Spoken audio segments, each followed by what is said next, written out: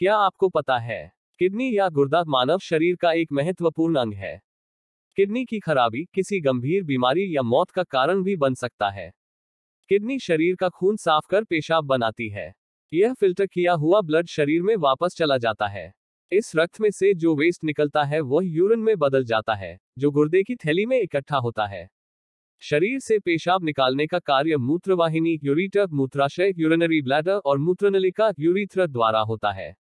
हमारी किडनी का काम काफ़ी कॉम्प्लिकेटेड है, उनके दो मेन काम है, हानिकारक अनुपयोगी पदार्थ और टॉक्सिक कचरे को शरीर से बाहर निकालना और शरीर में पानी लिक्विड सब्सटेंस मिनरल्स इलेक्ट्रोलाइट्स के रूप में सोडियम पोटेशियम आदि रेगुलेट करना है। गुर्दा लगभग 11 माई से 14 सेमी लंबा 6 सेमी चौड़ा और 3 सेमी मोटा होता है। प्रत्येक किडनी का वज़न लगभग 150-170 ग्राम होता है। जैसा कि हम सभी जानते हैं कि हर व्यक्ति के शरीर में दो गुर्दे होते हैं, जो मुख्य रूप से यूरिया, क्रिएटिनिन एसिड आदि जैसे नाइट्रोजन युक्त वेस्ट मटेरियल्स को रक्त में से छानने के लिए जिम्मेदार होते हैं। जो सभी शरीर में चयापचय के उत्पाद हैं और इस तरह मूत्र का उत्पादन करते हैं। केटिनिन और यूरिया दो महत्वपूर्ण वेस्ट मटेरियल्स हैं। रक्त में इनकी मात्रा का ऑब्जर्वेशन किडनी की कार्यक्षमता को दर्शाता है। जब दोनों किडनी खराब हो जाती हैं, तो किएटिनिन और यूरिया की मात्रा रक्त परीक्षण में उच्च स्तर पर पहुँच जाते हैं जिससे गंभीर बीमारी या मौत का कारण भी बन सकता है। किडनी में एक फनल आकार की स्ट्रक्चर है जो एक ट्यूब के नीचे जाती है जिसे मूत्राशय यूरिनरी ब्लैडर या मूत्रवाहिनी यूरिटर कहा जाता है।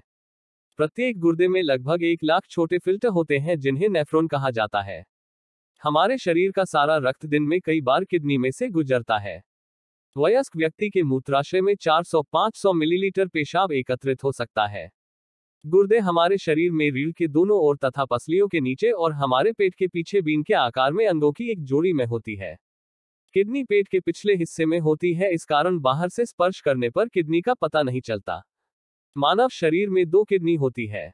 हमारे शरीर की दोनों किडनियों में प्रति मिनट 1200 मिलीलीटर रक्त साफ़ होने के लिए आता है, जो हृदय द्वारा हमारे शरीर में पहुँचने वाले रक्त के 20 प्रतिशत के बराबर है।